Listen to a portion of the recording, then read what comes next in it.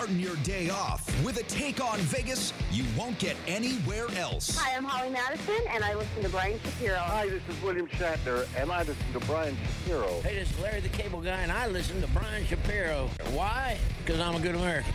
So is he. And if you don't listen to him, you need to pack up and leave this country. This is the Vegas Take with Sharp and Shapiro.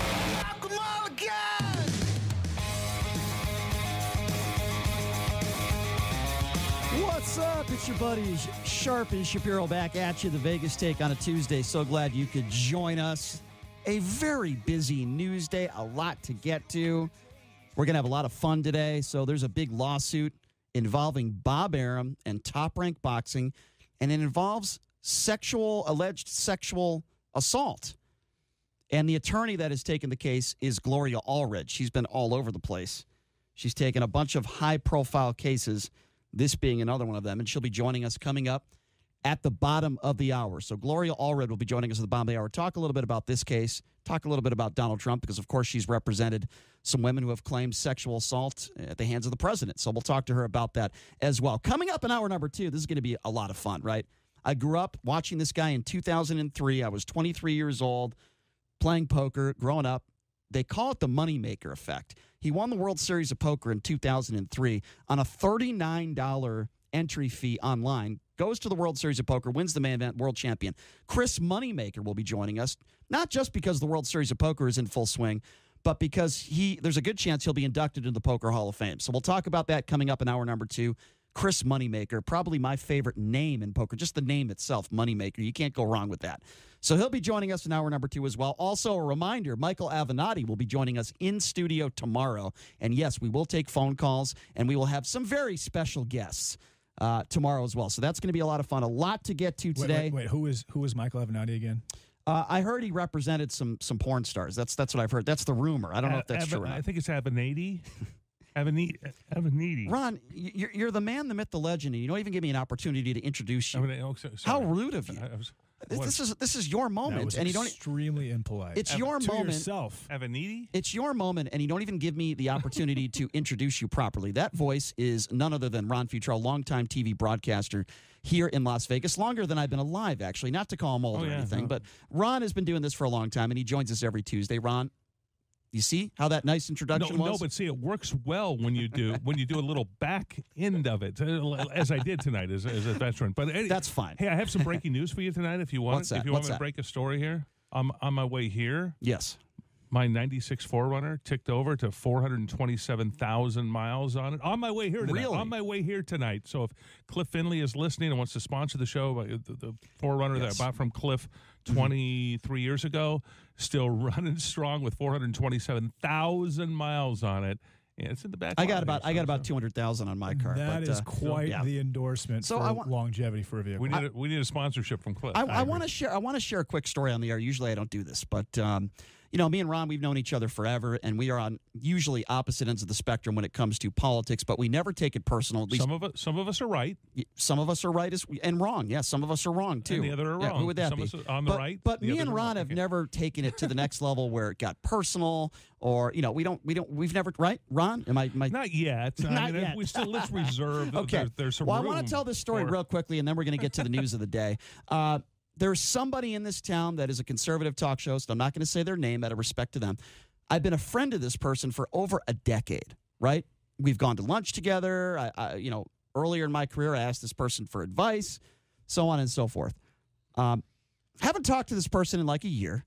And I said to myself, you know what? We have Michael Avenatti coming on the show tomorrow. We'd like to have somebody that's way on the right to get into a debate with him. And by the way, we are going to have some people on. We already have one person booked. There'll be some surprises tomorrow. But so I asked this person, I said, Would you like to come on and, and debate Mike Avenatti? The response I get was, He's disgusting. And my response to that is, would you say the same thing about Donald Trump? Because if you're going to call Michael Avenatti quote unquote disgusting, I would say Donald Trump has done some disgusting things in his life too. I think that is a logical thing to say. It's nothing to do with politics, just has to do with personal, right? And then, you know, it, it, it, I'm not going to say it gets ugly, but uh, I'm called a few names. I didn't call this person any names. And I get blocked on social media. And before I got blocked, uh, I'm told, you've gotten into political debates with me before online. And I'm kind of paraphrasing here. and you were an, an a hole. You know, I was called that. And I said, well, I don't even know what this person's talking about. I mean, I've, n- I've only said nice things about this person, and then I'm blocked. And I'm thinking to myself, wait a second. And I'm not going to say who it is. I'll tell you off the air. But I'm thinking to myself, you're a talk show host. You talk politics every day. If you had a problem with me getting into a political debate with you on social media, all you had to do was say, hey, I don't want to get into a debate with you. Never called this person a name before in my life. Invite you on the show. Well, this hmm? person's come on my show before when I did a show at another station. That's what's so frustrating about this. And I'm thinking to myself, Ron, and, I bring this up for a reason because you and I have never gotten to that point, and we've gotten into heavy debates on and off the air. I'm thinking to myself, why do, first of all, why do people take it so personal, right? Number one. And number two, someone that does a show in, uh, in this town and has for a long time who gets into political debates on the air all the time, why would that be such a problem to have a conversation with a friend and have a debate? Not everybody is going to agree with you. And you look, right and the left, some people don't like being questioned or getting into debates with others. Now, I love getting into debates with people, as you know. But with that being said, if somebody says something really, what I consider ignorant, stupid, racist, not factual, then I enjoy calling people out on it. Which is basically 98% of what he hears. No, that's not true. That's that's not true. Okay, I can. I, Ron, have I ever called you a name? I don't think so. No. Yeah, We've Um, gotten we've gotten into politi- of about a thousands okay, of okay, political. But here's here's here's my advice from years Yes. of, of of of life. Okay, and I'm gonna. I know you don't like me going too scriptorian here, but I'm going to go with agree with thine adversary. Okay, it's, it's a New Testament scripture. Agree with thine adversary, and at times, okay. So in this case, in this case, here's the re- to me. Here's the response. Okay, yes, he is disgusting. Would you still like to come on and be part of the show? Okay, I agree, agree, and go. Okay, maybe there are there's disgusting things Listen. you could say about anybody, but agree. Here, here- I wouldn't have had a problem with It's that. very disarming. It's very disarming. I'm going to a little tactic here. It's very disarming when you agree with your adversary because they don't know what to do. Okay, Look, if this person came in studio and Uh, yes, said, he is. "Michael, I think you're disgusting because of blah blah blah blah blah," I wouldn't have a problem with that. We all have our reasons, right? I think Donald Trump is disgusting, and I give reasons for it all the time. If you think Barack Obama was disgusting, okay, fine, let's hear it. yeah, let's hear yeah. it. I But thought, but yeah, you understand the point I'm trying to make. no, Just have a and agree- reason for doing agree, it, right? Agree. My, po- But- my, my right. point is, some occasionally agree with your adv- agree with thine adversary. Sometimes it's it disarms the. the That's not oth- my the, uh, problem. that's not my problem. This person called Michael disarm. Avenatti disgusting. I don't have a problem Okay. with that. You know, if that's your opinion, you're entitled to that. He's disgusting. But why would you block Answer me? my question. Would you still like to come in and be yeah. part of the show? Why would you block me and then call me a name? It just it just makes it, I don't know. I was just a little surprised by that. There, there are some people again. There are some people in this business, which it, it's amazing to me that you're in the communications field and you do a radio show and then you have a problem when somebody debates you or questions your opinion and has another opinion. I I, I don't understand it. That's all. That's all I'm going to say. I don't understand it. Here's somebody else I don't understand. By the way, Meghan McCain. We all know her father is a war hero, regardless if you didn't like his politics. But Meghan McCain is on The View every day. I don't know what she has ever accomplished in her life other than the daughter of John McCain. So she's diminishing what is going on at the border right now in regards to the children, right? People that are in, uh, the kids that are in these cages, the 12 year olds. Quick question, Brian. Who has accomplished more, Meghan McCain or Donald Trump Jr.? That's a tough question. I, I really don't know. I don't know. I, I don't Or think they. Hunter, let's put Hunter Biden in there too. He's accomplished a lot with Ukraine and China to make all that money off those two Well- governments, while his dad was uh, right after his dad. So Hunter, Hunter has done Okay. real well for Well, himself, I, hasn't I, he? So, I, I don't. I don't know how I can answer that question, but the reason why I bring up, I think they're they're they both have accomplished next to nothing. But uh, the lucky sperm club, as Michael Avenatti would say. But uh, with that being said, Meghan McCain, she goes on the View, and you know she starts talking about uh, the situation here at the border. Okay, and uh, these kids. Now, now some people have said what these kids are going through at the border through you know the border patrol. Uh, they've they've said that it's torture. These kids are being tortured. So Meghan McCain says my father couldn't lift me above his head as a child because of his torture wounds. Uh, she also uh, went on to say that uh, commentators exercise caution when comparing the conditions at migrant detention centers to torture. Now, let me start by saying this: Ocasio Cortez OCD. comparing what is going on at the border to concentration camps is utterly ridiculous. And I, I we we talked What's about offensive that. to Okay. those to Jews who went through the uh, It is. for OCD It to is. say that? Megan Is that McCain. an acronym? Uh, Did I Uh, get that it- wrong? It, might be one of the one of the most highly politicized stretches in modern history. No, But just Meghan McCain does not know Freaking what it is like to be tortured. Okay, her father, the late John McCain, did. She doesn't. Number one, and I and, and I agree with uh, what some people say, where she hasn't accomplished anything in her life. Now, the here's my the, big problem with this is she's diminishing what is going on at the border, regardless of whether you think these kids are being tortured or not. When they don't have soap. When they don't have toothbrushes, when they don't have beds, when it's freezing cold temperatures in some of these detention centers, which is documented, these kids are getting sick, they're getting the flu. When you have 12 year olds that are babysitting one and two year olds, that is an issue. That is a problem. Now, whether you want to call it torture or not, fine, we could have that debate. The problem is something needs to be done here. Oh, you're, okay, you're a build the wall something guy. needs You're to be build the- done. now, Brian, you're a build the wall guy. Well, before we talk, doing? Are you a but- build hold on. wall? Before What- we what talk, you have to. What you- stops you- the you- you- children? You, clearly have to build a center of some sort to Brian's a- house these to house these yes, kids. that's Brian's what. a Yes, build the I- wall I guy. agree. Uh, what I'm talking about, Ron, has absolutely nothing right now to do with the wall. Oh, no, and you're it right, it has doesn't. everything to do with how do we make sure that these kids are But cared having- for properly in a humane Let's, way. let's let's make it We so can they don't- talk about let's- the bo- the let's border make wall. it so they don't have incentives for child traffickers to bring them here in the first But then place. how do Let's that go is there. another Oh, issue. Why big- can't you that's the heart focus the- on this issue? That is the heart of the matter. No, I am talking about the heart of the matter. The heart of the matter is let's Let me ask do a way to Okay, disincentivize I'll tell you what. the child traffickers Okay. and occasionally some parents, but mainly child traffickers from bringing these children here. Okay. If we cared about the children, that's what we would do. Democrat and Republican, we would disincentivize these child traffickers that bring the children here in the first place. That's the bottom line. That's how you stop it long term. That's how you stop it tomorrow. But but uh, you got two weeks now. Let's see what let's see what Democrats and Republicans do. Trump gave them two weeks. Let me uh, ask you a question. Two Okay. different issues John- on it. Listen, So- Ron, Yes. do you believe that these kids deserve soap? Do you believe these kids deserve beds?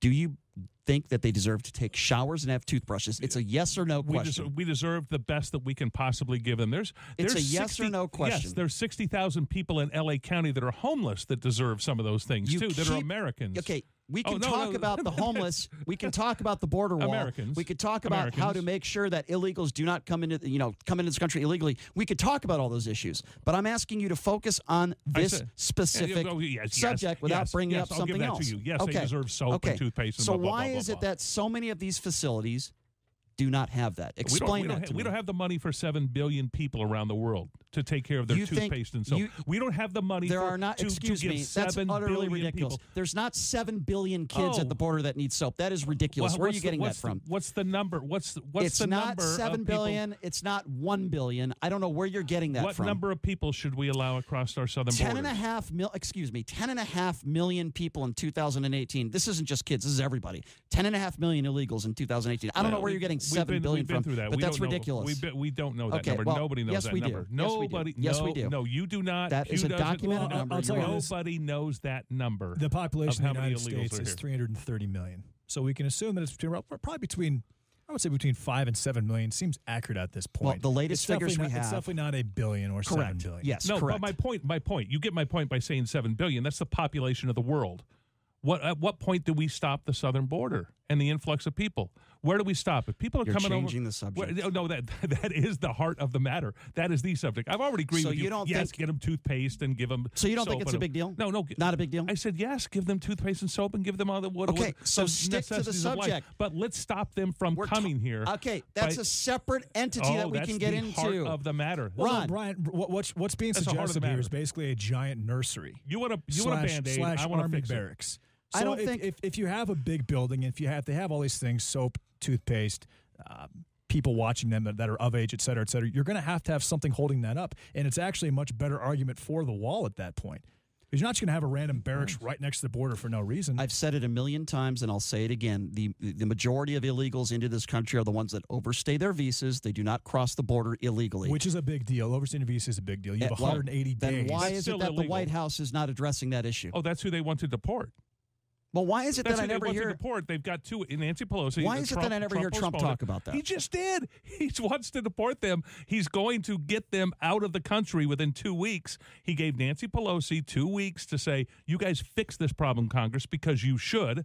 He understands. He understands it's Congress's problem, but he can fix this problem. I hope in two weeks Trump sticks All to what he says. If Pelosi does not fix this problem at the southern border and start right. deporting the people that you talk about, and once he starts doing it, you'll be pissed let's at that, take- Brian. let's- Once he starts deporting illegals, you will be angry Okay, about well, that. you're making a gross no, assumption will. that's not you true. will. Two weeks from now, we'll No. we'll have you're this making discussion. a you're again you're making a gross assumption that's not that's not correct. I'll tell you what you gets me upset when these kid the way these, some of these kids are being treated. Okay, two five. Let me give out the number. traffickers involved. Let me Go give out- Mexico. Let me give out the number. 702 257 5396 is the number to call. Uh, again, 702 257 5396 if you want to be a part of the program. Ken, let's break at 24 because I want to get back in the second segment a little bit earlier. Sorry, I should have mentioned that earlier. Again, the number to call 257 5396. Let's start off with Gary. Gary, what's up? Hey, Gary. Hey, um, it's always a good show when Ron's there. Uh, I mean, it's always a good show. oh, it's always a good show, but Thank you, Gary. Thank, you Thank for the you. Thank backhanded. you, Gary. Thank you for the backhanded compliment. We I don't even know how you guys can be as civil as you are, but I, I just want to know how come I don't get a signed copy of your book that you didn't write yet? Everyone else has. oh, Are you talking about copies Ron or, or. Brian Shapiro? Who are you talking about? I'm talking about uh, you, Brian. Why don't you write your book called "Get Off My Show, You Moron"? No, I, I would say I would say I would say my book would be called "You're a Buffoon." That that's what I, that "You're a Buffoon" by All why right, you Well, everyone else on the radio has a book, and if you hang on and, they'll- and they like you, they give maybe you a yeah. Like, copy. uh, well, I'm thinking of a title. It would be "You Are a Right Wing Radical Buffoon." Uh, why you're a right wing radical buffoon uh, by Brian Shapiro. What do you think about that? I like his title. I JD, like do you Gary's like title. that? I think it's a good Do idea. you like that? Well, well, get to All right. work, man. All right, I all like I I'll like write a- you I'll know, try. I like I, identifying morons, idiots, and buffoons with Brian Shapiro. And as a picture you on a cover in the studio, yes. shouting on the phone at somebody. Red it'll be a picture of me. No, it'll be a picture of me in a speedo, yeah, Gary, because I know how much you oh, right, want to look whatever. at that. Yes, you know, fine. I'm not picky. Uh, Gary, listen, listen, Gary. Here's what I want. I want you to call us tomorrow and give me a title. You got 24 hours to think about it. Okay. Thank you for the call, Gary. Get, off my show, it. you moron. that was the title he gave. I like that title. That's a good one. Two five seven five three nine. Six is number to call. Really, really uh, Let's go to Wilfrey. Wilfrey, what's up? Hey, Wilfrey. Well, I never quite know where to begin, but I would remind you about your disappointment of those people who blocked you and called you names. the Brian, that's what shock radio does. You can't stop a vortex once you go dark on talk radio. So be prepared. You're just beginning to skim the surface of what you're engaged in. Now, on the I'm, I'm totally confused with what you just said, but please go on. Go ahead. Well, blocking you are. begets blocking. Begets Maybe I'm just not smart enough to interpret what you just said, but that's okay. Well, Go ahead. Yeah, Wilfrey. once you've seen shock jock dark radio where you, you humiliate people, there are people who there are dark sides to talk to hate radio. And Brian, you can't do this every day and then go, "What's your problem? I'm a nice guy." Well, just a second. You can't Wilfrey, what's your problem? I'm a really nice guy, Wilfrey. What's your problem? What's your I problem? do like you. Actually, Oh, well, thank you. I do like you. I Thank you for appreciate that. beer. That means a lot to me. Get I- off I my th- show, I you moron. I think he's suggesting that we are continuing down the twilight zone of radio into into a Ah, place that we cannot come back from. See, don't complain about somebody Yeah. blocking you when you cut people off on the radio. By See, the way, just because you disagree with someone's political beliefs doesn't mean it's shock jock radio. Just because you might call somebody an idiot because they say something stupid, Brian- it's not. Hold on, let me finish. Hold on, let me finish. That doesn't mean it's shock jock radio. We don't have naked people in studio, even though I'd love to see Ron Futrell naked. He's not naked. Yeah, uh, that would be more along the lines of shock jock radio. Just because we do a political show and you don't agree with the way we do the show does not mean it's shock jock radio, Wilfrey. With all due So, respect, so are you saying that Howard Stern is shock jock radio, Brian? absolutely, hundred percent. So, so if I if I might on the border issue, right? Quickly, please. Uh, well, I don't know about the. que- I'm not a Gatling gun guy, but anyway, here, here's the point. Uh, I know a lot of fathers are in jail. Fathers who didn't provide child support. Let me tell you what I do with those children. I got a good refrigeration truck loaded up. Put some women in the back that are lactating. They're illegals. Send those children to the border and I drop them back where they belong. Our children have priorities, Brian. And the fact that you would use a child as a vehicle or means of dissemination so you can stimulate. Okay, that, that's controversy, com- uh, Wilfrey. is That's com- that's unbelievable. no. I'll tell you what's unbelievable that you think I'm using these kids as a political pawn. No, I'm not. Here's what, Somebody here- is. here's what Somebody that, is, Here's what that scenario reminds me. You ever seen the movie Mad Max? Yeah, yeah. Oh yeah. yeah. That scenario just reminded me of that. Wilfrey, that was Yeah, one of your craziest just- calls. That's and just had some beyond. crazy calls. That was beyond bizarre. Let's let's steal. Let's let's Oh try my to let's try to get one more squeeze one more call in before break. But- let's go to Jack. right. He- Jack, what's up? Hey guys, um, Hey, Jack. I, I just had a comment. Um, I guess I'm surprised that you're surprised people find uh, Avenatti a, a scumbag. Did I say I was surprised? Well, no, I just interpreted. Okay. Uh, I'm not surprised. You know why, Jack? Because people are biased. That's why.